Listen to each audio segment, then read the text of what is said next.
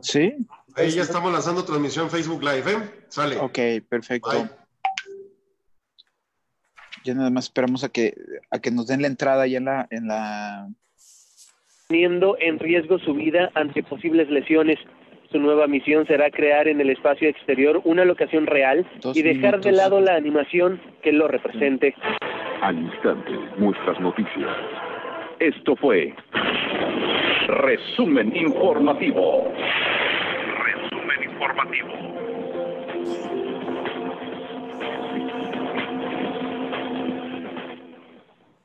Son las cuatro en punto. Escuchas XEP 1300 AM, Radio Mexicana. Nuestras noticias. 40.000 watts de potencia, transmitiendo desde Avenida Vicente Guerrero 2329. Colonia Partido Romero, Ciudad Juárez, Chihuahua, Radio Mexicana. Nuestras noticias. Una estación de Radiorama. Radio Mexicana, nuestras noticias. Comuníquese al 613-1113. Radio Mexicana, nuestras noticias, presenta. La reforma fiscal 2014 generó más daños de beneficios para la frontera. La formalidad de las empresas es una tarea La economía americana avanza. La proveeduría maquiladora sigue siendo el La gran concentración de poder de mexicano. mercado en México. La transparencia gubernamental continúa siendo talón de para producir altos antilavado Solo Negocios Radio, las mejores entrevistas y análisis para lograr una toma de decisiones adecuada. Contáctenos. Correo electrónico. Correo arroba solonegocios.mx Página de internet. www.solonegocios.mx Facebook. www.facebook.com diagonal solonegocios mx Twitter. arroba solo negocios y recuerde no es nada personal son solo negocios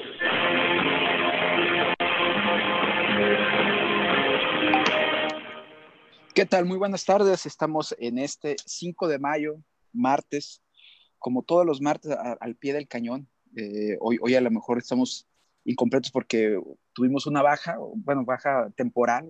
Por allí Luis Enrique tuvo que atender una junta que, que se hace virtual. Parece ser que, que estos eh, trabajos virtuales terminan por demandar más a las personas que, que el trabajo normal o la rutina normal, ¿no? Al menos porque cuando estamos en, en, en- persona no se nos duplican los, los trabajos eh, que tenemos que atender. Pero bueno, eh, tenemos que dar eh, pie, como él decía, a- a- al pie del cañón. Quería preguntarle qué número de emisiones este, es este día. Yo que ya perdí la, la cuenta, pero en realidad nunca la llevo, pero siempre que nos recordaba él, pues ya como que me agarraba el track en, en qué momento íbamos. Pero en fin, aquí, aquí estamos, ¿no? Mi nombre es Manuel García y le damos la bienvenida aquí a, a Solo Negocios, la edición de los martes. Eh, el programa de hoy tiene, tiene una particularidad. La semana pasada estábamos hablando precisamente con personas de- del, del sector maquilador y nos estaban dando la perspectiva, sobre todo en las cuestiones laborales, de, de cuál era la expectativa que tenían para los próximos meses, ¿no? Entonces, más o menos nos platicaron de, de cuáles eran las, las expectativas y los movimientos que estaban haciendo precisamente para prever, eh, pues, obviamente las situaciones que se les iban a presentar en los próximos tres, seis y, al final del año. Eh, una de las situaciones que, que teníamos, eh, obviamente, sobre todo los cuarenses, que nos preocupa más, al margen, primero, obviamente, de la salud, después era la parte económica, la tercera es el empleo. Y, el empleo ha, ha tenido eh, muchísimas, obviamente, muchísimas interpretaciones en, en estos momentos, porque una de las cosas que más preocupa yo creo que a las personas es la seguridad laboral que tienen dentro de sus, de sus trabajos y cómo esta se ha visto muchas veces amenazada por unas situaciones como las que estamos viviendo con lo del COVID. Eh, ya la ventaja de, de, no tener aquí a Luis es que puedo hablar abiertamente y libremente de, de, la, de la 4T, sin que nadie lo defienda, eh, que no busco tampoco hablar mal de la 4T sin que tenga aquí su defensor como, es Luis, pero sí, sí habíamos visto y habíamos coincidido en algunas ocasiones que había un poco, eh, pues digamos, de descuido por no decir más, de la 4T en cuanto a estos temas.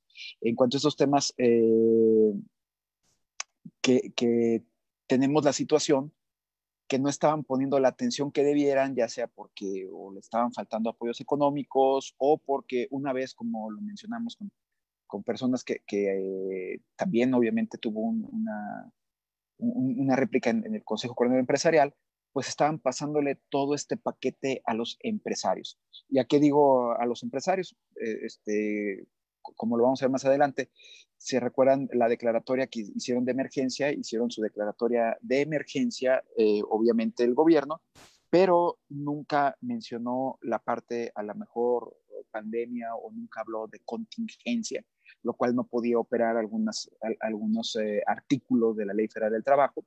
Y pasaban obviamente los salarios y, y, el mantener toda esta situación a muchos empresarios que no tenían el soporte ni financiero, ni a veces la estructura, la mejor técnica para continuar con labores a distancia.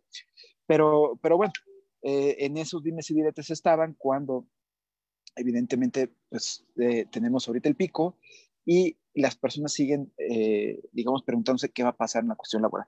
Por eso hoy nos acompaña un, abogado, licenciado Efraín Barragán de EBA Legal, para explicarnos muchas cuestiones que, que a lo mejor quedaron sueltas, sobre todo porque eh, platicando incluso con abogados desde un principio, y, lo recordará a lo mejor Alejandro Sandoval, eh, decíamos qué podían y qué no podían hacer los patrones, y si a lo mejor podían despedir gente, y si a lo mejor podían aplicar eh, esta cláusula, a lo mejor de, de aplicar un salario mínimo, o que si simplemente podías irte a la quiebra y tenías a lo mejor que, que, que recurrir a, a, las liquidaciones, o podían entrar en amparos, como también incluso la Canacintra por ahí también comentó que, buscaba a lo mejor las posibilidades de amparo, ¿no? Entonces, bajo este sentido, eh, quisiera presentar ahí al licenciado Efraín y que nos ayudara un poquito con, estas situaciones. ¿Qué tal, Efraín? Bienvenido. Hola, Manuel, muchas gracias. Buenas tardes. Bueno, como, verán, estamos haciendo esto ya, pues nos está haciendo costumbre esto de hacerlos ya no en, en la cabina, sino cada quien en su casa este, desde la comodidad de la casa, como dicen, aunque yo no digo que es así, porque te digo que terminas haciendo las cosas que tienes que hacer en la casa más lo del trabajo, es, es contable, pero, pero es lo que tenemos que hacer. Oye, queremos platicar de, estas, de esta situación que, que les comentaba. ¿Cuál es, eh, bajo, bajo tu perspectiva, eh, la situación actual que se tiene en cuanto a las publicaciones del diario oficial de la federación? sobre todo en, esto, qué fue lo que realmente publicó eh, el, gobierno federal y luego qué también como autoridad el gobierno estatal fue lo que hizo y en qué marco quedó. Sí, sí, claro que sí. Bueno, como tú lo mencionaste, esto va a ser una opinión meramente personal. Eh, comentando con otros colegas abogados, definitivamente cada quien tiene, tiene su opinión respecto de qué se puede y qué no se puede hacer dentro de los márgenes de la ley sobre todo por un tema que tú bien lo mencionaste, Emanuel, lo del tema de emergencia sanitaria en vez de una contingencia sanitaria. Pero bueno, retomando el tema desde un inicio, recordemos, bueno, el, SARS-CoV número 2, que para términos fáciles en esta charla hay que llamarlo COVID o coronavirus. Eh, esto empezó en Wuhan, China, diciembre En el 2011, en el 11 de marzo, perdón, es declarado como una pandemia por la Organización Mundial de la Salud. Hasta ahí en México realmente no había ningún caso, no había un tema de interés para que el gobierno tomara alguna acción. Esto sucede hasta el 27 de abril, que en el, periodo, en el diario oficial de la Federación se publica un acuerdo en el que se expiden diversas acciones extraordinarias para que las regiones afectadas, obviamente en el territorio nacional, eh, se combata la, la, enfermedad grave conocida como COVID. Aquí es donde empezamos a tener este problema. ¿sí? Este acuerdo básicamente, y realmente toca muy poquito en el tema legal, abría el mercado, tanto público como privado o social, para que todos los insumos médicos sean comprados de una manera un poquito más expedita, tanto en la compra como en la importación aquí es donde empieza esto, el 27 de marzo. Posteriormente, ahora sí, ya que México empieza con esa curva ascendente en cuanto a contagios del coronavirus, el 30 de marzo se declara lo que es una emergencia sanitaria por causa de fuerza mayor. Ok, emergencia sanitaria por causa de fuerza mayor. Hago énfasis porque más adelante definitivamente vamos a tocar estas dos palabras, lo referente a emergencia sanitaria y causa de fuerza mayor.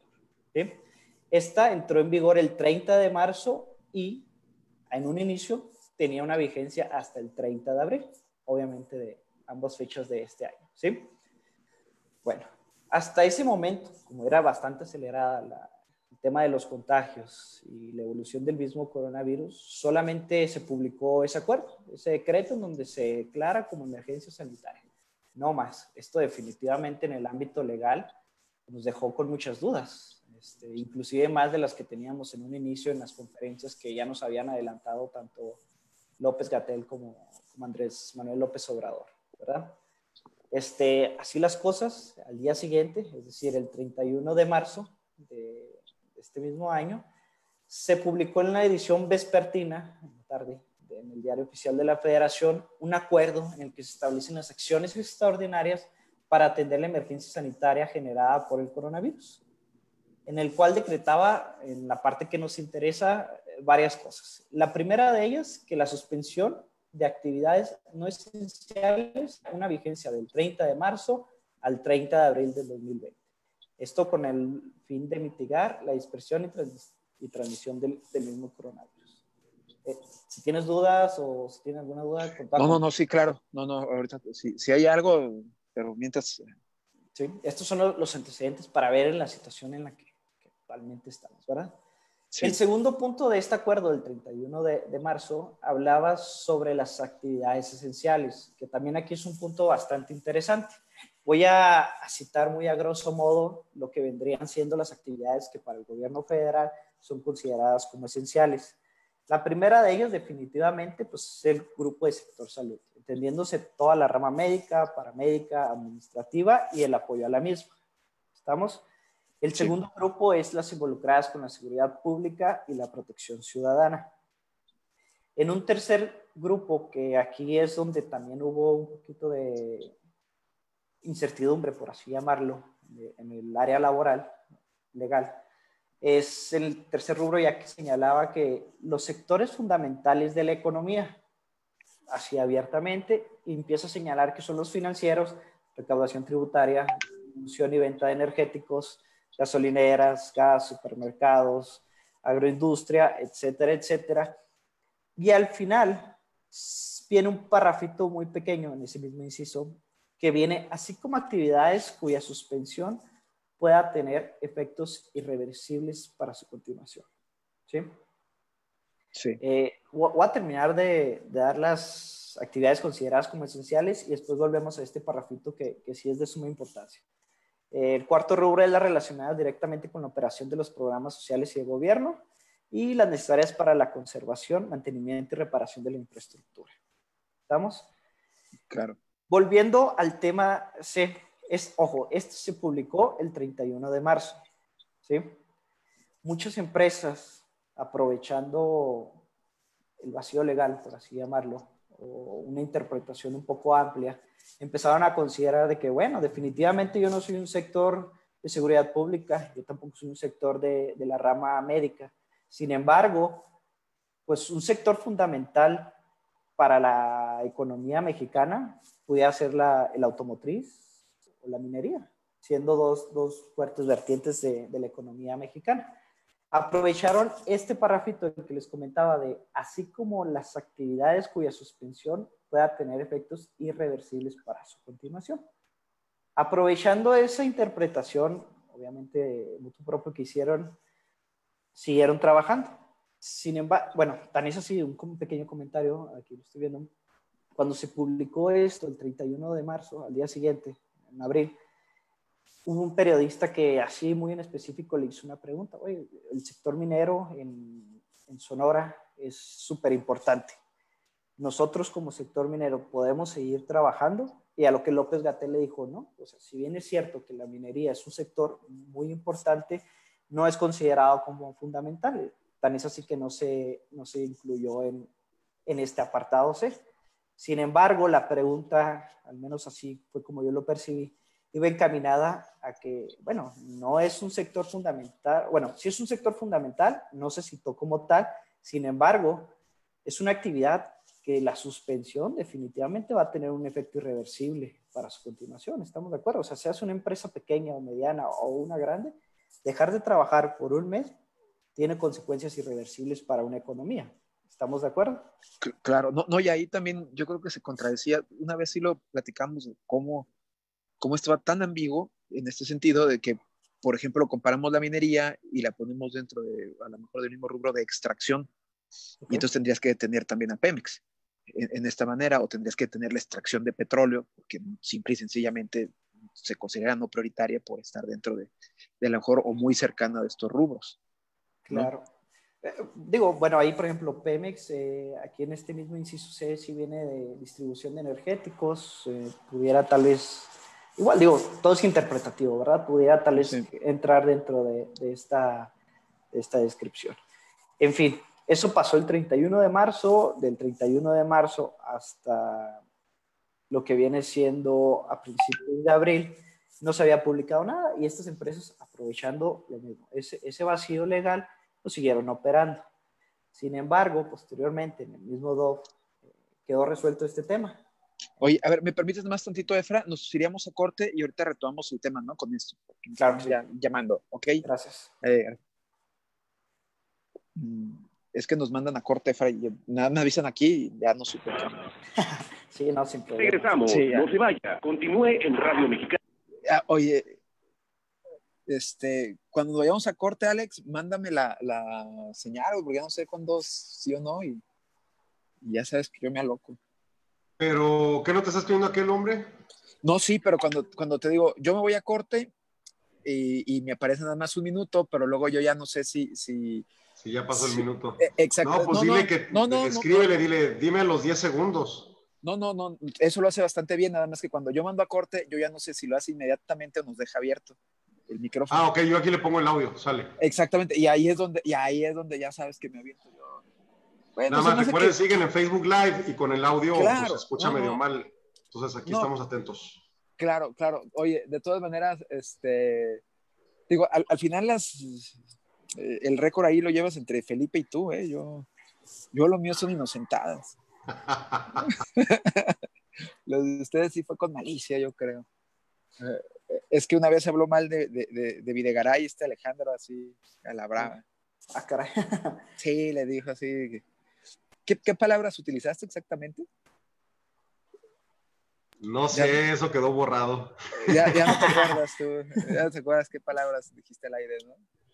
Eh, no, es que sí nos hemos aventado varias y en Facebook Live digo, es menos problema porque no es, no es eh, radio abierta, ¿no?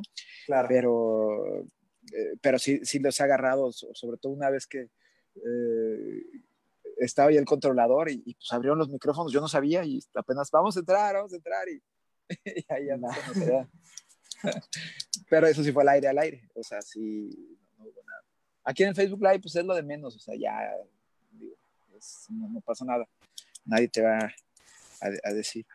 Y, y oye, fíjate que lo que estábamos, lo que estás platicando ahorita Efra, también estábamos viendo porque eh, decíamos, imagínate una empresa que se dedica a las cajas de cartón, ¿no? Ese siempre ejemplo lo, pongo porque era el más claro.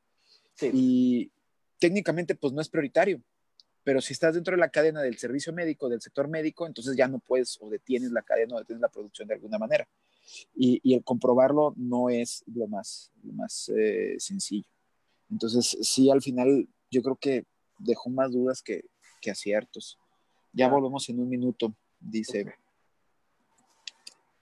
Tuve conocimiento de un asunto y mi sugerencia, estos, estas personas, esta empresa, se dedicaba a hacer manuales y calcomanías. Pues no es un sector esencial, ¿estamos de acuerdo? Sin embargo, como un 30% de su producción se destinaba a una compañía. A ver, ahí, vamos a entrar, ¿eh? Ahí ok. Espérame con discapacidad permanente estamos. mayores de 68 años. Además, becas para estudiantes en condición de pobreza y servicios de salud integral y gratuitos a quien no tenga seguridad social. Oye, Alex. De la República. Cercanía. Y Antes de entrar a comerciales, me salieron altísimos los impuestos. Continuamos en Solo Negocios Radio. Ah, no, pues te quisiste ir contra el contador.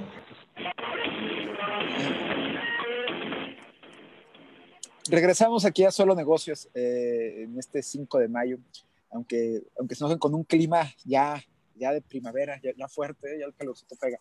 Pero bueno, estábamos hablando con, con eh, el licenciado Freddy Barragán precisamente de, de, primero, pues, de estas declaraciones o no declaraciones de emergencia que se realizaron en, en marzo, ¿no, Efraín? Antes de que Así empezara todo este, este show, sobre todo con los patrones, para que no sabían, no, no sabían si doy un paso al frente o doy dos pasos atrás, ¿no? Entonces, bueno, estabas eh, diciéndonos precisamente en qué, en, qué término salió en, esta historia.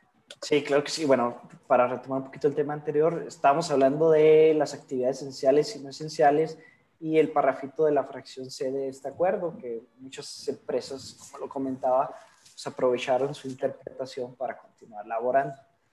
Eh, sin embargo, pues esa interpretación terminó de, bueno, cada días después, igual en un acuerdo que se publicó en el mismo DOF y que decía así en lo específico que todas aquellas actividades esenciales se van a considerar como tal, haciendo énfasis en específico en este parafito. Las aquellas que sean empresas de producción de acero, cemento y vidrio, así como empresas de tecnología e información que garanticen los servicios de sistemas informáticos de los sectores público, privado y social. Ya con esto definitivamente todas aquellas empresas que interpretaban a su favor este, este acuerdo, pues definitivamente ya se quedaron sin un sustento legal para continuar operando. ¿Estamos? Sí. Eh, cuando estábamos en los anuncios y que lo comentábamos, eh, me tocó conocer de, de, un asunto, era una empresa, ellos se dedicaban, que era lo que te mencionaba, se dedicaban a hacer calcomanías. ¿Sí? Sí definitivamente eso no es un sector esencial. Sin embargo, un 40, 50% de su producción se dedicaban a esas calcomanías, a enviarlas a una empresa internacional que servían para aparatos médicos. Entonces me decían, oye, pues estoy en, si trabajo, no trabajo. Es que igual, en mi opinión legal fue lo siguiente. Le dije, definitivamente yo siento que si eres esencial, ¿por qué motivo? Bueno, no eres esencial como tal, pero si tu función se detiene, ¿qué es lo que pasa? Pues las actividades esenciales pueden tener un perjuicio en su continuación, lo que en esencia pues no es la naturaleza de estos acuerdos, ¿verdad? Mi sugerencia ahí fue conseguir cartas que inclusive en algunas cámaras aquí, tanto nacionales como de Juárez, vi que estuvieron circulando en las cuales se les pedía a sus clientes decir cuáles eran las funciones de esta empresa en respecto de sus productos. Obviamente, para, intentar justificar en caso de una auditoría el por qué sí están operando. Entonces, al menos ese fue mi, mi, mi, aporte legal. Definitivamente, obviamente, era mucho más el soporte legal, eran otras medidas, pero en esencia, y en mi opinión personal, yo sí vi de entrada viable que siguieran trabajando. ¿Por qué? Pues obviamente en Estados Unidos o en cualquier parte que se vayan a utilizar ese tipo de maquinaria, si no cuentan con las calcomanías en las que se mencionan sus especificaciones o inclusive su instructivo, pues no van a poder salir al mercado, ¿verdad? Recordemos que claro. no se tienen que cumplir normas. Entonces, eso entorpecería la actividad esencial de aquella empresa, que indirectamente pues viene siendo un sector esencial para esta empresa en específico Oye, a ver, aquí, perdona que te interrumpa, una pregunta. ¿Nunca marcaron a lo mejor un camino dentro de los, de los decretos para, para decir, por ejemplo, en las empresas, ¿sabe qué? Eh, usted mande esta solicitud a la Secretaría del Trabajo y la Secretaría del Trabajo a lo mejor le dice si es prioritaria o no es prioritaria, o, o, o simple y sencillamente aquí le podemos a lo mejor decir si si usted provee, no sé, el 30% de su producción a un determinado eh, labón o a una determinada industria, no, no marcaron ninguna pauta a seguir, digamos, para las empresas.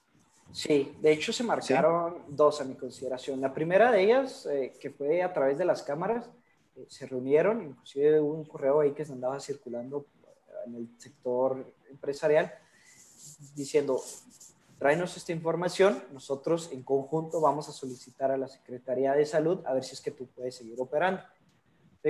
Ese era por un término.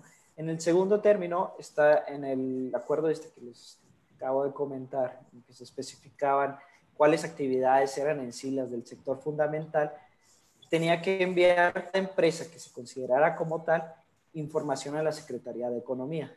Era un aviso, definitivamente un aviso no se iba a tener una respuesta, pero se tenía que hacer ese tipo de información. Aquí yo eso veía con dos intenciones por parte del gobierno. La primera de ellos es tener una seguridad, en lo particular como empresa, de decir, ah, bueno, estoy operando, aquí tengo este, este papel que me ampara para continuar operando. Y en un segundo término, ahora sí un poquito el lado malicioso, de decir, ok, bueno, tú me diste esta información, no estás trabajando, pero ya sé que tú quieres trabajar, entonces ya vas a prender un foco rojo para la autoridad para que te vayan a auditar ¿sí? y evitar todo lo que se quiere hacer, eh, en específico el contagio del coronavirus. Esas eran las dos vertientes, las dos opciones que yo veía en cuanto a ese tipo de, de solicitudes. Ya, entonces, bueno, de que hubo, hubo, pero al final del día, pues, eh, también como los impuestos, ¿no? Con bueno, mande su, su estado de cuenta y le regresamos los impuestos de este año, pero el año que entra, pues obviamente ya tenían tus datos, ¿no? O bueno, al menos era lo que se presumía que, que era el, el, problema. Así pero bueno, entonces se, seguía. Oye, y, y, referente a estos, ¿qué problemas de interpretaciones se generaron entonces a partir de todo esto? Eh, bueno, ya con este acuerdo definitivamente quedó clarificado lo, cuáles actividades eran del sector fundamental y cuáles no. Sector fundamental que se considerarán para el sector esencial. Entonces, ya con este tipo de aclaración a través de este acuerdo igual, publicado en el diario oficial de la federación, ya no quedó ninguna duda al respecto. Hasta este momento ya no había ninguna duda. O sea, ahí con eso subsanaban todos los errores que pudieran haber tenido. En lo particular, considero que sí. No sé cuál sea tu opinión al respecto, lo que hayan comentado anteriormente. No, no, bueno, es que en realidad lo que habíamos platicado es que sí quedaban eh, al, al, final sueltas algunas cosas, como todo, porque es muy difícil eh, englobar o cuando cuando tienes que hacer selecciones, sobre todo de industrias, hay, hay industrias que pues obviamente pertenecen a lo mejor a un sector, pero en la práctica eh, eh, este, eh, estás atendiendo a otro, ¿no? por ejemplo, el caso que, que, comentaba, también lo comenté la semana pasada, unas, unos empleados de una pastelería querían cerrar y, le estaban presionando al dueño porque ellos consideraban que los pasteles no son, no son prioritarios. Incluso ahora las, eh, este, algunas cadenas eh, de supermercados ya están prohibiendo o no están vendiendo sus, sus productos de, pan, ¿no? Porque consideran que no eran prioritarios, pero al final del día, dentro de la lista están como procesamiento de alimentos. Eh, y, eso, pues, es, es, es, claro, ¿no? Que hay un procesamiento de alimentos, por lo tanto, se considerarían como prioritarios. Entonces, es difícil hacer esta separación con las empresas. Ahora, pues, cuando lo tienes que hacer en 15 minutos o dos días, todavía es más difícil, se te quedan sueltas muchísimas empresas, ¿no? Que como la que mencionaba, se me hace ese buen ejemplo, esa, esa empresa que, que, hace manuales y, dices, bueno, pues yo soy imprenta, pero al final del día estos manuales van para el sector médico, ¿no? Claro. Y, y, detengo yo la cadena nada más porque no llevan el manual o no pueden salir al mercado. Entonces, eh, este, son cosas que, que tienen. Pero bueno, pues aquí, es nuestro país aquí yo, bueno, al menos cuando me llegan a preguntar si son o no son esenciales, yo lo que les sugiero mucho a, mis clientes y amigos es, hay que recurrir siempre a la naturaleza del decreto, ¿sí? ¿Cuál es la naturaleza? ¿Cuál es la esencia? O sea, todo esto viene, ¿por qué? Porque queremos evitar que los mexicanos, entiéndase cualquier mexicano, trabajador, patrón, se contagie de coronavirus. ¿Estamos de acuerdo? Claro. Entonces, ¿por qué realizar una interpretación contraria a eso? En el caso personal, o sea, sí, definitivamente podemos documentar que un pastel es un alimento procesado, que al fin de cuentas termina siendo un alimento. Pero son pasteles, o sea, realmente no, no implican que ser un sector, o sea, si, si comemos o no comemos pasteles, no nos vamos a morir de hambre. No, los pasteles no nos aportan unos nutrientes esenciales para continuar con nuestra vida, ¿estamos de acuerdo? Claro. Entonces, ¿por qué tratar, como coloquialmente se dice, de estirar la liga en algo que sabes que le puede perjudicar a tu cliente o a tu empresa. ¿sí? Porque al menos me queda claro que eso sería, en caso de una auditoría, la autoridad te va a clausurar, te va a querer multar, te va a decir, ok, o sea, justifícame por qué estás operando. Si tenemos un decreto que está seleccionando las actividades esenciales, sabemos cuál es la naturaleza del mismo, ¿por qué quieres hacer lo contrario? ¿Estamos de acuerdo? Definitivamente habría doble interpretación.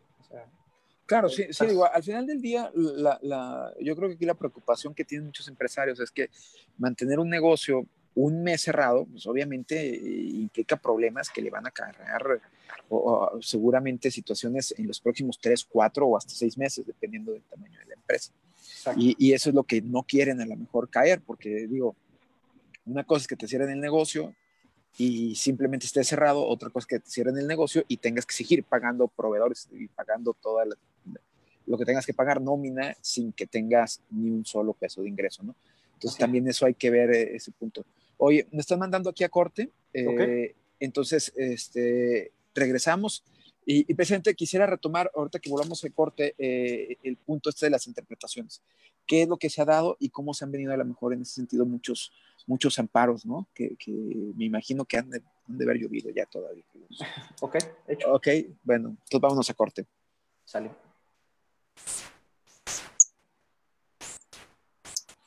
Que sí, sí, sí está, te digo, muy ambiguo eso. Vaya, continúe en Radio Mexicana 1300. Pero, pues, por ejemplo, hay dos vertientes, ¿verdad? O sea, si tu cliente aún así quiere seguir continuando trabajando, tratando de encuadrar en ese supuesto, pues lo podemos hacer, ¿verdad? Pero sí sería al menos lo más profesional y lo más ético. No, claro, digo, lo ideal sería eso, pero, pero si te vas a la realidad mexicana, o sea, si, si, tú me dices, mira, lo que pasa es que Slim quiere mantener abiertos sus negocios y tiene dinero para pagar y puede pagar un año sin tener ingresos, pues no hay problema. Pero pensando en los pymes que tienen a lo mejor, tal vez hasta el amparo sea algo caro, ¿no? O sea, que decir, bueno, tengo todavía que pagar el amparo y tengo que pagar un abogado para, para mantener eso. Eh, e, entonces es donde está la, la, situación y siento yo que hay asimetría en el trato eh, con empresarios, porque eh, han ido, por ejemplo, la Secretaría del Trabajo, imagino que estar, estar haciendo esta como, eh, este, como locos eh, visitas para, para revisar que estén cumpliendo el decreto, y, y, se van sobre empresas formales. Pero estás viendo un montón de, de empresas informales sí. que no están cumpliendo el decreto, pero ni de chiste, que no lo van a hacer y que tampoco te van a pagar impuestos. Y, y, no hay manera de que les digas o hagas absolutamente nada, ¿no? Te vas, por ejemplo, a la, a la Valle del Sol, y te das cuenta que ya pusieron muchísimos eh, este, carpitas, ¿no? Eh, y, y, entonces e, es, ese es el, a, a, lo que voy el trato. Hay, hay concretamente una, una, persona de ahí, porque me salgo a correr ya a las 6 de la tarde, entonces ya veo cómo está todo el negocio. Pasan a recogerlo en, en una camioneta del año, ¿no? O sea, tiene tres, tres puestos a lo largo de la Valle del Sol, con una camioneta del año y, y siempre ha estado ahí y cuando hablen de impuestos y cuando hablen de, de, de todo esto, de, a ellos no los van a tocar, ni siquiera lo están contemplando, ¿no? Eh, y por otro lado, a los formales no los dejas ni trabajar, ¿no? O sea, literalmente, literalmente. Entonces, claro. eh, eh, ahí es donde tú dices, bueno, pero es que, ¿qué está pasando? Se están escudando en algo de, de su condición que no tienen, ¿no? Además porque te digo que esta tiene esta persona tiene tiene tres tres puestos del mismo, del, del, mismo sector, lo que pasa es que lo tienen diferentes puntos. Y, y, es donde ya empiezas a ver. Dicen que un minuto para regresar, ya nos están mandando. Ok. No, me dio tanta risa eh, porque de verdad iba corriendo y de repente veo y lo, y lo suben en un remolque, el carrito, porque tiene un carrito. Y luego te lo encuentras en otros puntos subiendo otros tres carritos, ¿no? Pero con una camioneta del año, con placas nacionales, no creas que chueca, no nada, no, placa, nada. okay. Échale nada más, ¿no? Eh, y, y, y, en cambio a un señor, ahí vamos en 30 segundos, dice, eh, y en cambio un señor que tenga un local, que quiso formalizar lo que se dio alta de Hacienda, pues ya le cayó hasta la Secretaría del Trabajo a, a, a decirle que, que, cerrara, ¿no? Porque si no, está, primero que está poniendo en riesgo a sus empleados, segundo que les pagara, y etcétera, etcétera, etcétera. Eh, pero, pero bueno. ¿Ya ahí tienes el intro, Alex, o todavía no? Saldremos adelante. Ahí está, ya ves. Continuamos en Solo Negocios Radio.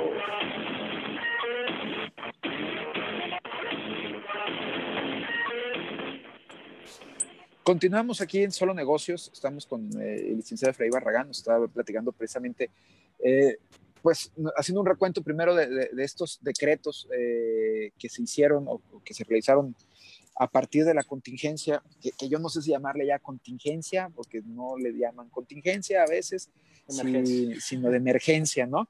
Pero bueno, cuando hablamos de cuestiones de salud es una contingencia, cuando hablamos de cuestiones laborales le llaman emergencia. Pero, pero bueno, a ver, eh, platícanos un poquito de cómo se abre esta, este, este juego de palabras, la problemática eh, y sobre todo en el problema de interpretaciones para los patrones en la relación laboral con, sus empleados. Sí, claro que sí. Eh, bueno, aquí hay que establecer, bueno, el primer, el primer problema que teníamos, hablando como, patrón o como empresa, era determinar si éramos esenciales o no. Eso ya lo discutimos. Ahora el segundo problema que uno se enfrenta al momento de este decreto, pues es un juego de palabras, como bien lo mencionaste, Manuel. Eh, ¿Por qué un juego de palabras? Aquí habla el decreto de una emergencia sanitaria. ¿sí? En una emergencia sanitaria en donde las empresas, los patrones ya no podían laborar si no eran esenciales y obviamente pues dejaron de, de generar ingresos. ¿Qué es lo que pasa aquí? ¿Qué sigue en cuanto a la ley laboral del trabajo? Ley federal del trabajo, perdón. Primero, ¿qué va a pasar con los trabajadores? ¿Se les va a pagar? ¿Cuánto se les va a pagar? ¿Por cuánto tiempo se les va a pagar? ¿Sí? Entonces, la ley federal del trabajo señala que puede haber una suspensión de una relación laboral, siempre, bueno, y, señala dos incisos, que yo creo que es de los siete que señala, viene al tema nada más señalar el primero y el séptimo. Eh, el primero de ellos señala que cuando exista fuerza mayor, caso fortuito, no imputable al patrón, ¿sí? O bueno, o su incapacidad física o, mental o muerte que produzca como consecuencia necesaria, inmediata y directa la suspensión de los trabajos. Ese es por un lado. Y por otro lado, la suspensión de labores o trabajos que declare la autoridad sanitaria competente en los casos de contingencia sanitaria. Contingencia sanitaria. Si recordarán al inicio de, de esta, de esta charla, señalaba o hacía énfasis en las palabras emergencia sanitaria y causa de fuerza mayor. ¿Sí? ¿A qué me refería con esto? Bueno, soy un patrón, no estoy dentro del sector fundamental, del sector esencial. ¿Qué sigue? Eh, aquí había dos, dos, interpretaciones, como lo señalé. La primera de ellas a mí no se me hace viable, sin embargo he visto la opinión de varios colegas abogados y se me hizo importante e interesante mencionar la de la fuerza mayor o el caso fortuito. ¿Qué se hace en estos casos? Si se trata de esta fracción, fuerza mayor o caso fortuito, el patrón o su representante debe dar un aviso de suspensión al tribunal, en este caso laboral, definitivamente, para que éste, previo un procedimiento, lo apruebe o lo desapruebe. Básicamente decir, decirle a la autoridad, oye, ¿sabes que existe una causa de fuerza mayor, en este caso esta emergencia sanitaria, que me impide continuar con mis operaciones y quiero suspender las, la, la relación de trabajo con mis empleados? Estos son los términos. Ahí se iba a determinar por cuánto tiempo y el porcentaje o el monto de sueldo que se le iba a pagar a cada uno de ellos. Este este, este escrito que tendría que presentar tenía que ser aprobado o desaprobado por la Ley Federal del Trabajo. Oye, a ver, a ver, sorry que te interrumpa. Bajo ese supuesto, ¿cuánto sería el monto que le debían de pagar a los trabajadores? Es, precisamente lo, a lo que se refiere esto de aprobar o desaprobar. O sea, ¿lo acordaba, por ejemplo, el patrón y el empleado? Así es. ¿O lo tendría que fijar la, la, eh, eh, en ambos. tribunal?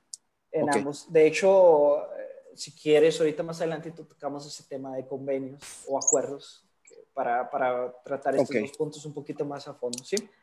Perfecto. Eh, porque yo no veía viable esta opción. En primer lugar, porque bueno, desde que comenzó esta pandemia, toda la justicia, o al menos los juzgados que, se encargan de, administrar esta justicia, pues quedaron suspendidos, ¿verdad? no ser actividades esenciales. Únicamente se iban a tratar temas urgentes esto podía considerarse un tema urgente, ¿verdad? Porque pues durante 30 días, como en un inicio se planteó, ahora dos, dos meses, con un acuerdo modificatorio, este, los empleados iban a estar sin recibir un sueldo o sin, sin tener una certidumbre jurídica sobre cuál iba a ser su situación durante esta emergencia sanitaria. ¿sí? ¿Qué, iba ¿Qué es lo que iba a ocasionar? Una saturación de los juzgados y sobre todo, bueno, no sé si les haya tocado algún tema laboral que probablemente no es lo más expedito que, que, existe en nuestro sistema de justicia. Entonces, ahora imagínense con todo el sector maquiladora no esencial solicitando lo mismo para revisar convenio por convenio, pues no se me hacía algo muy viable, ¿no? Este, por, eso fue, fue que, que, de todas maneras, igual lo quise mencionar, no se me hace viable. Y la segunda opción era una suspensión de labores, como lo mencionaba, que declare la autoridad sanitaria competente en los casos de contingencia sanitaria.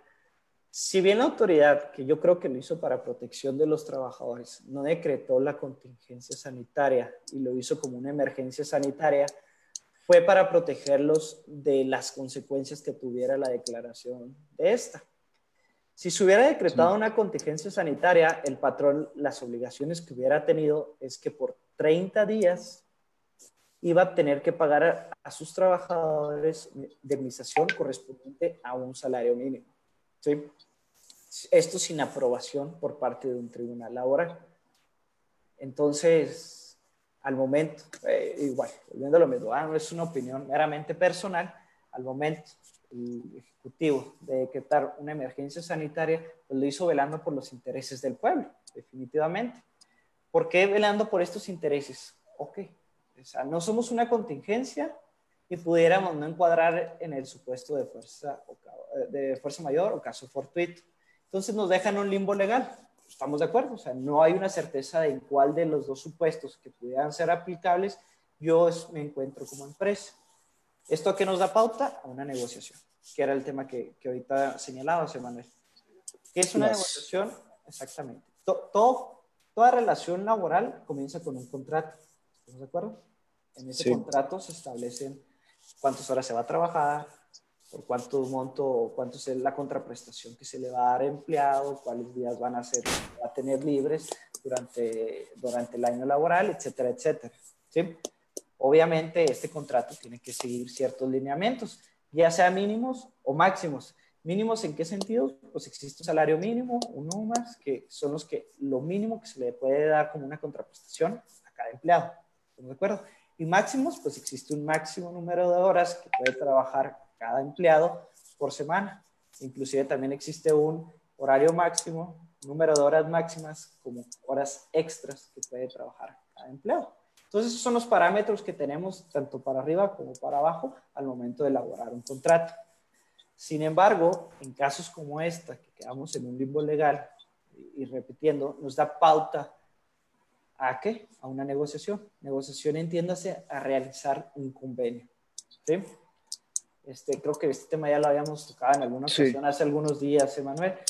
¿A qué me refiero con un convenio? Un convenio es un documento que firman ambas partes estando de acuerdo, para modificar todos los términos que se tenían de la relación inicial de trabajo, entiéndase el contrato laboral. Colectivo, sí, o colectivo o, tu contrato personal. Así es. Este tiene varias características. La primera de ellas, pues, para que surta plenos efectos legales, pues, tiene que ser por escrito. Este, solo va a regir cuestiones futuras. O sea, no podemos decir, ah, bueno, te va a modificar que ya no trabajes o que ya te va a pagar nomás la mitad de enero a abril. Oye, pero estamos a mayo. No se puede, ¿verdad? Definitivamente eso ya pasó, ya no se pueden modificar acciones que ya pasaron y que ya se habían establecido. ¿Estamos? Pero mayo sí podrían haber tocado. Exactamente, mayo en adelante. ¿sí? Entonces, mayo en adelante, sí. E, es por eso que muchas empresas, como seguramente lo vieron en las noticias, que dijeron, bueno, o sea, estamos en este limbo legal, vamos a negociar con los trabajadores para llegar a un punto medio. ¿Sí? En punto media tiendas y tal vez mandarlos a su casa a, los que pudieran trabajar y pagarles, no sé, el 70, el 50% de su salario, siempre y cuando ese 50 o 70% de su salario, pues no sea los mínimos que señala la ley. ¿Estamos de acuerdo? Ese, claro, pero, ahí mi pregunta es, ¿realmente se puede? Digo, porque al final del día estás contra el artículo, contra otros de, de la misma ley federal, ¿no? O sea, estás cambiando la situación laboral y que estás bajando evidentemente los sueldos. Si alguien metiera una demanda, evidentemente ahorita no, no hay dónde ni cómo, eh, pues tendría todos los elementos para, para, ganarla, ¿no? Porque yo, yo creo que esto, y lo veíamos eh, ahí a, veces con Alejandro, esta situación, de que imagínate, yo tengo mi empresa, ¿no? A lo mejor una, o sea, estamos hablando hipotéticamente, no es un caso real, ¿no? Que, que uno tenga su empresa y dentro de esa empresa tienes a lo mejor 10 trabajadores. Esos 10 trabajadores los tienes a lo mejor con un sueldo diario, no sé, de 700 pesos. ¿Ok? Y, y, se viene esta situación, tienes que cerrar y dices, bueno, ok, voy a mantenerlos, no voy a despedir a nadie, eh, nos vamos por un mes, pero no les voy a pagar los 700 pesos, llego a un acuerdo con ellos, les voy a pagar a lo mejor 400 pesos o 500 pesos diarios. Vamos a decir, bajaste un porcentaje de lo que tiene. Todos están de acuerdo, todos firman el convenio, yo firmo el convenio y luego pasando eh, a lo mejor mayo o junio, uno de los trabajadores me dice, ¿sabes qué? No estoy de acuerdo, te demando. Tiene todas las posibilidades de ganar, ¿no? O sea, a, lo que voy es que eh, bajo estos supuestos, los trabajadores quedan, los, perdón, los, empleadores quedan en desventaja porque eh, tendría cierta nulidad ese, ese, contrato ya que va contraviniendo a una ley superior que es el, la ley federal del trabajo. Pero mira, eso si quieres ahorita me lo contestas porque nos vamos a, aquí a corte, me está llamando a corte. no está Arturo, pero ya, ya nos están mandando. ¿Ok? Entonces, regresando, eh, volvemos con este tema. Ok. Mucho.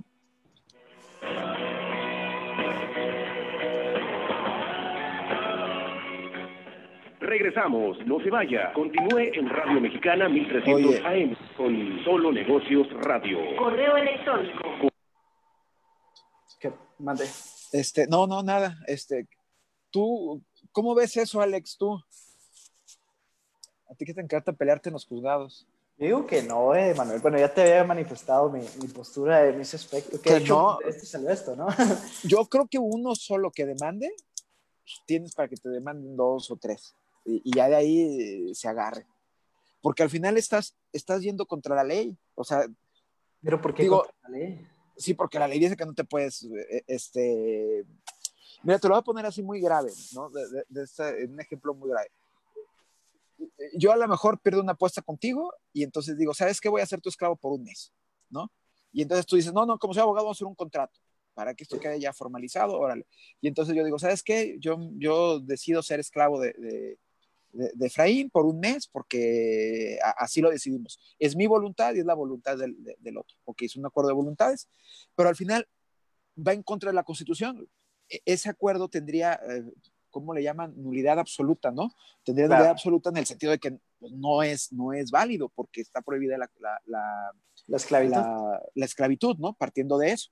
Entonces, en el mismo sentido, podría estar haciendo un acuerdo que legalmente va contra la misma ley porque le estás bajando el sueldo a una persona, por la situación que sea, o sea, por, por el esquema que, que, tú quieras, que porque no puedes pagar, que porque eh, a lo mejor una contingencia o todo eso.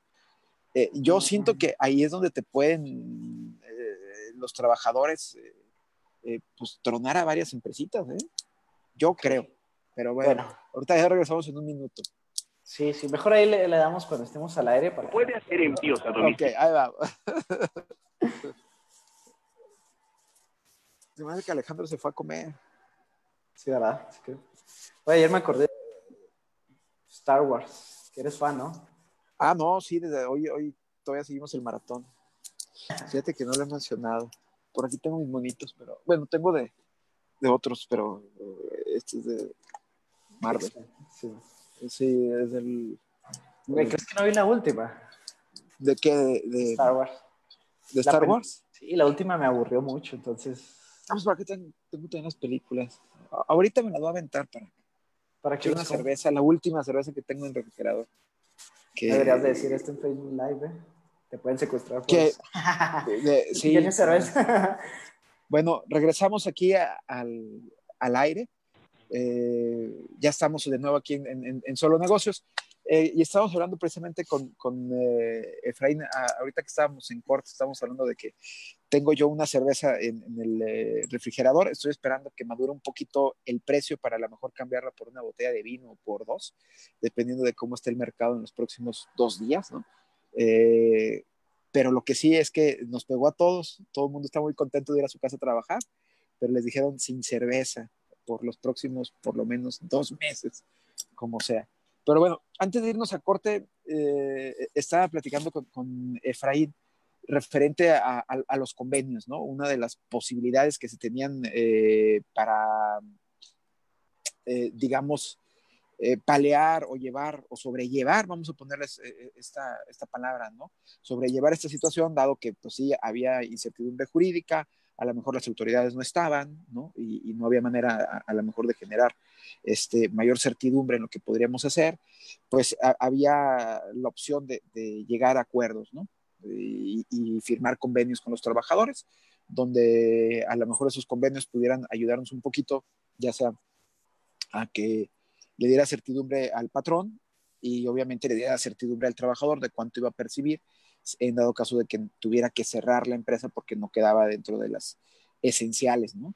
Que, que fíjate, haciendo un paréntesis, hablando de las esenciales, y ahorita que me recordó de la cerveza, las esenciales estaban operando por ser también alimentos y luego un buen día en, la, en, estas tardeadas de, de Gatel, eh, vamos para atrás y dijeron siempre no y así pasó, ¿no? Para que vean cómo, cómo estaban las ambigüedades, ¿no? De cómo ni ellos mismos sabían qué era y qué no era esencial. Pero bueno, entonces decíamos, eh, teníamos, eh, te estaba yo exponiendo el caso de que en caso de que una empresa a lo mejor tuviera que cerrar y tuviera que llegar a, un acuerdo con los trabajadores, a lo mejor de pagar un porcentaje eh, inferior a lo que estaba recibiendo el trabajador, a lo mejor un 70, 50, 80, no sé, como muchas empresas seguramente lo hicieron y como muchas empresas a lo mejor eh, este, lo siguen haciendo. ¿Qué, ¿Qué, tan legal era este, este acuerdo? O sea, no carecía de esta famosa nulidad absoluta por ir en contra de una, de una ley superior. O sea, obviamente entiendo que el convenio es por debajo de lo que vendría siendo una ley, ¿no? Eh, este, y estaría subordinado a este. Ok, definitivamente si un convenio es una ley, sin embargo la misma ley los contempla los convenios. Tan es así que hay un apartado sobre el mismo y si bien en, los, en el artículo 427 y 429 que ahorita le señalaba no contempla la posibilidad de un convenio, pues también hay que recordar que nosotros no estamos en ninguno de esos supuestos. Nosotros estamos, por así decirlo, en una fracción octava inexistente decretó una emergencia sanitaria. ¿sí? Pero aquí hay que tener en cuenta varias cosas, La primera de ellas es de que, para empezar, no existe ninguna regulación en la ley que te diga qué hacer en caso de una emergencia sanitaria. Por analogía, que ese es el tema que, sí sería muy interesante tocar, pues una emergencia sanitaria y una pandemia sanitaria, contingencia sanitaria, perdón, para mí es lo mismo. ¿sí? ¿En qué sentido? Porque en los dos este, estamos hablando de una enfermedad que está obstruyendo las actividades de nuestra empresa. ¿Estamos de acuerdo? Entonces, el hecho de que le pongamos la etiqueta de emergencia en vez de la de contingencia sanitaria es lo mismo, realmente. Digo, me queda claro que el gobierno federal hizo esto para apoyar a los trabajadores y abrir la posibilidad a un convenio. No pagarles de entrada el mínimo. ¿Por qué? Porque muchas personas se fueron a su casa y tal vez ganan más del mínimo. No, definitivamente no ganan el 100% de su sueldo, pero no están ganando el mínimo. Entonces... Sí, sí claro, porque eh, eh, es decir, la indemnización, porque hay que decirlo también, cuando es contingencia no es salario, sino indemnización. La indemnización sería un mínimo sin importar el rango que tuvieras. O sea, técnicamente un director de una empresa se podría ir con un salario mínimo Exactamente. durante el mes, ¿no? Sí. Entonces, te digo, por analogía, yo siento que ese sería un muy buen argumento para en caso de que a una empresa lo llegue a demandar uno de sus trabajadores, este, poder defendernos. Eso es por un lado. La segunda, como lo mencioné, un convenio también es un acuerdo de voluntades. Entonces no puedes decir, ah, siempre sí firmé y estuve de acuerdo en ese convenio y al final terminar demandando. No, es como si yo te firmara un pagaré a ti, y luego, sí, claro. Ya cuando me demandes, te no, sabes que siempre no lo quise firmar, pues oye, no estamos jugando, definitivamente, ¿va? Es un documento legal que tiene plena validez. ¿Estamos de acuerdo?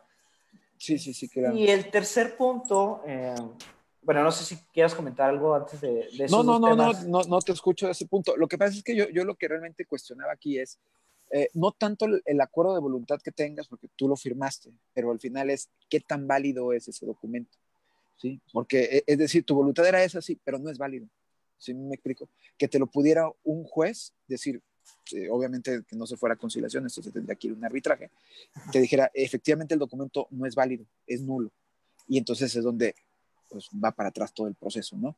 pero porque no sería, bueno, al menos en lo personal yo considero que no carecería de, de plena validez. Ah, no, no, claro, pero... de hecho, pues, al establecerse en la Ley Federal del Trabajo los mínimos y los máximos que comentábamos anteriormente, si estás dentro de ese margen por este tema que es algo externo al, al patrón, no veo por qué tendría una carencia de validez. Claro, bueno, yo, yo partía de eso, de, que a lo mejor eh, te aplicaran estos principios de, nulidad absoluta por ir o contravenir una, una, una, orden jurídica superior, ¿no? En este caso. Eh, pero bueno, yo creo que, que, estos casos, mira, yo no sé qué tanto vayan a aparecer. Eh, yo creo que ahorita las, las empresas, las que tuvieron que verse forzadas, porque yo no me imagino que esto lo hicieron con, con una situación de alegría de, hacer convenios con los trabajadores, ni el trabajador ni la empresa, porque obviamente, como tú bien dices, es una situación que fue una contingencia o una situación a lo mejor que escapaba al mismo empresario y al, y al trabajador, ¿no? Una situación especial. Eh, yo creo que lo que tuvieron que hacer, en cierta manera lo hicieron sabiendo de que iban a regresar con un trabajo, que como estamos viendo las cosas, pues yo creo que ya es bastante, ¿no? O sea, es decir, que pasa, pasa pasar de toda esta situación, a lo mejor, no sé cuándo regresemos, si en junio, el primero de junio, o regresemos el, como dicen algunos, a lo mejor... Eh, en agosto. Eh, no, no, no, bueno, no, no, me voy tan lejos, pero es decir, pensando a lo mejor en, municipios no tan, eh, digamos, con tanto problemática el 15 de mayo, ya es que estaban diciendo algunos, sí. ya, si el 18 de mayo, pues ya vas a poder decir que, que, tienes trabajo, ya es bastante, ¿no? O sea, ya es, ya es bastante porque muchas empresas tal vez ni siquiera tengan la posibilidad de reabrir, ¿no? Eh, pero yo no sé qué tanto vaya a haber situaciones problemáticas, porque hoy salió una nota, ya se nos está acabando el tiempo, pero hoy salió una nota en, eh, los medios aquí locales, que muchas empresas, sobre todo empresas grandes, eh, maquiladoras, estaban preparándose para, para liquidar empleados, ah, ¿no? Y, también nos lo decían. creo que leí esa cifra. Sí, la semana pasada nos lo decía también las personas, los empleados, no es que queramos hacerlo, pero es que no sabemos, una, a qué nivel vamos a regresar, o sea, no vamos a estar al 100, y, segundo, no sabemos por cuánto tiempo vamos a estar así, ¿no? Entonces, evidentemente la situación no es alegre para ninguna de las dos partes, pero tenemos que enfrentar una realidad, ¿no? Entonces, no sé qué tantas eh, terminen apareciendo abogados que quieran demandar y que quieran hacer estas, sacar leña, ¿no? De todo eso. Claro. Pues, es que no podemos, volviendo al tema, o sea, realmente el hecho de que hayan determinado esta emergencia sanitaria en lo personal nos abrió ese panorama de hacer convenios. Porque no podemos tomar nosotros una postura como patrones y decir, oye, pues más te voy a pagar el mínimo. ¿sí? Que igual es una carga para mí, pero tampoco como trabajadores podemos tomar una postura de, oye, págame el 100% que no estés recibiendo nada ambas posturas considero yo que pudieran ser hasta cierto punto absurdas y, sobre todo no, no yo, yo entiendo que es para esta relación, estamos de acuerdo. Y, además poco sensibles, porque sí, sí, incluso hubo momentos, recuerdo que, que en algunos eh, trabajadores veían que este decreto era como un derecho, ¿no? Decía, es que yo voy por mi derecho, que es ir a, descansar y con el 100% cuando digo, realmente no es un derecho, es una situación especial donde eh, si bien el trabajador pues está sintiendo una carga por no recibir todo, también el patrón porque está pagando el 100 y no puede, ¿no? Entonces yo creo que hay que, que, ver, como una vez lo platicamos aquí Luis yo, que esta situación todo mundo vamos a perder y todo mundo tendríamos que, en cierta medida estar dispuestos a ceder algo, porque nadie va a salir ganando de todo esto. O sea, no espero yo que un trabajador gane de esta situación, no espero que un patrón vaya a ganar de esta situación a lo mejor los, los, productores de papel de baño son los únicos que terminan ganando, ¿no? Pero sí, sí o sea, si te, puedes pensar, son, son pocos jugadores los que pueden decir, me fue bien después de todo esto, ¿no? Claro. Y, y, y, vamos a terminar con, con, con muchos, muchos, este, eh, digamos, dolores de cabeza y vamos a estar recordando este 2020 durante cuatro o cinco años, ¿no? Contándoselo a los nietos. ¿Y qué estabas haciendo? Pues nada, no me a hacer nada. ¿no? pero, pero bueno. Oye, se está acabando el tiempo. ¿Algo más que quieras agregar en, todo esto? No, no, no. Pues realmente yo siento que antes de tomar cualquier decisión, ya seas trabajador o patrón, lo mejor es asesorarse con, su, abogado. abogado. Definitivamente. O sea, hay que tomar decisiones apresuradas. Y pues, muchas gracias por la invitación. Se los agradezco.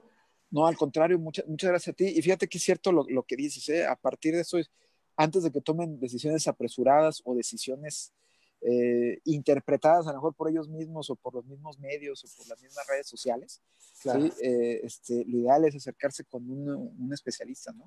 Y, que te aclare esas dudas, ya sea un abogado o como le decía ahorita fuera del aire a, Alejandro, con un contador, ¿no? También para que el contador te, te, asesore. Yo a partir de, que escucho a Guillermo, Guillermo es un compañero que eh, habla con cuestiones de contabilidad, que por cierto escúchenlo todos los lunes, la verdad es que me ha abierto el panorama y he valorado como nunca a los contadores, cosa que, antes pensabas que simplemente eran eh, personas que te iban a hacer la declaración y se acabó. Son eh, obviamente profesionales que van más allá de eso.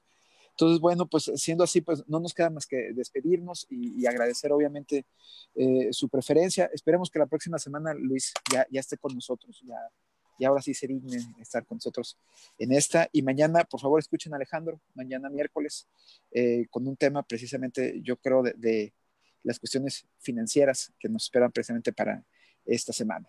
Bueno, muchísimas gracias. Gracias, hasta luego.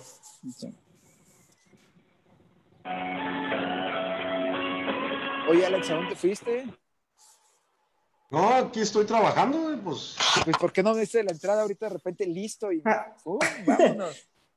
Ah, no, lo que pasa es que, sabes que yo confiaba en que la estación de radio estaba más en menos delay, menos retardo en la página de Radiorama, pero no veo que está más, más atrás que incluso el Facebook Live, entonces me estaba basando en eso. Hablando ¿Eh? estamos hablando todavía ya. sí. Pero bueno, vale, vale, muchachos, pues Ahí estamos en comunicación.